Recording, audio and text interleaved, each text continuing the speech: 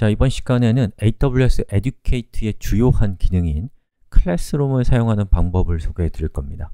자, 클래스룸은 이 선생님들이 과목을 개설하고 학생들이 수업에 참여할 때 실습 환경을 제공해 주는 기능이에요.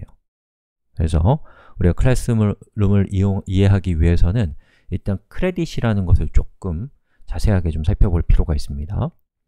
자, AWS 크레딧은 크게 두 가지 종류가 있습니다. 이거 정식 이름은 아니지만 편의상 하나는 AWS Educate 크레딧이라고 부를게요. 또 하나는 AWS Classroom 크레딧이라고 부르겠습니다.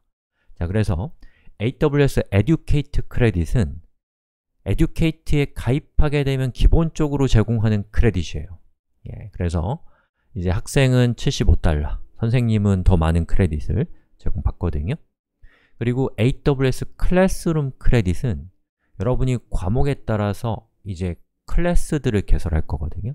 만약에 3개의 과목이 여러분이 만들 거다. 그럼 여러분은 3개의 클래스를 개설하게 될 겁니다.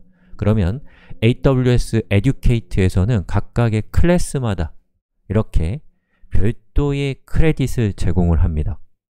그래서 만약에 어떤 학생이 있는데 그 학생이 AWS의 Educate에 가입했다. 그럼 75달러를 기본 받고요. 그리고 여러 가지 AWS 서비스를 독학으로 사용하게 되면 저 75달러가 소진이 되겠죠.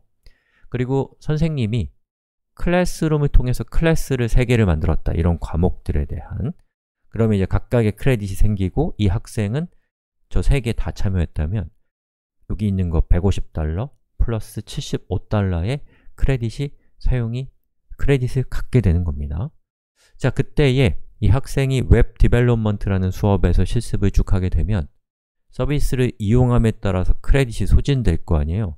그때 여기 있는 50달러에서 크레딧이 내려가고 다른 클래스의 크레딧에는 영향을 주지 않는다라는 것도 기억하시면 좋겠습니다. 그래서 저 크레딧을 다 사용하게 되면 더 이상 저 클래스에서는 실습을 할 수 없는 상태가 됩니다. 물론 여러분이 추가적으로 크레딧을 요청할 수도 있기는 해요.